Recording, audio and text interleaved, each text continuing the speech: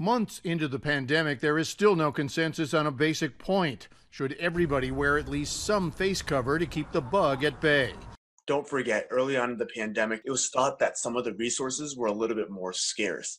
And so we didn't really know what the future really held. And so we wanted to make sure that we had N95 respirators and masks for the healthcare workers who needed to actively stay healthy to take care of these patients as they were coming into the hospital system. The primary people who need masks the healthcare providers who are putting themselves in harm's way when they're taking care of someone with a highly contagious disease.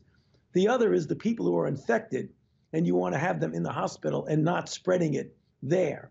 One thing you don't want to do is by recommending that people in the community generally wear masks, is if it takes it away from the people who really need it obviously this has since changed. The community came together people started making masks. We started to develop more with some of the leading manufacturers throughout the country to help really create enough ppe for not only the healthcare workers but for the public as well. We could do a really good job of controlling it if we paid attention to five fundamental principles one of which is what we're doing here right. with masks crowds distance bars washing hands. This is a science. Data changes day to day influenza we've been studying for absolutely decades at this point.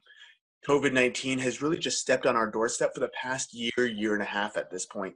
And so we're learning a lot of information about the particles of this virus very quickly.